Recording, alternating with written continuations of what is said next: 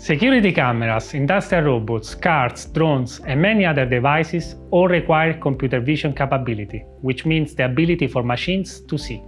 At ARM, we developed a full set of IP for IoT applications, enabling advanced on-device processing while being extremely low power and simplifying software development with software libraries such as Arm ARMNN. Let's learn more with an exciting proof of concept based on our latest IP.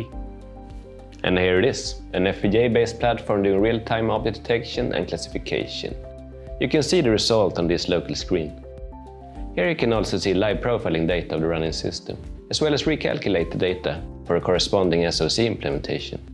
Right now the ARM backend is the Cortex-A Neon in SoC, clocked at 1.2 GHz.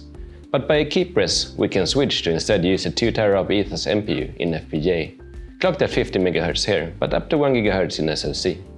You can see the system effects of this, the CPU load goes down and the performance of the inference goes up.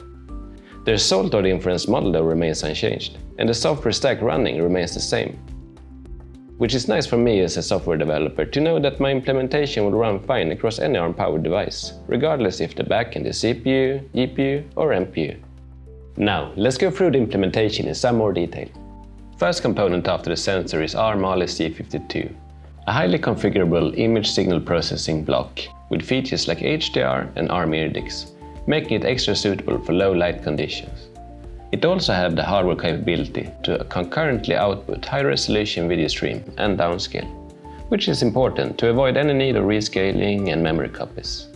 Combined with no color conversions needed, this means saving bandwidth, power and latency. The downscale video then goes to the object detection model, which is a standard SSD mobile MobileNet V1 network, trained on COCO dataset. Thanks to Arm NN, we have a selection of our Cortex CPU and NPU to use as inference backend, and can seamlessly switch between the two at runtime, which I showed before. The final stage is a display server, merging the high-resolution stream with the detection overlay. To learn, more about computer vision on ARM, see the links below.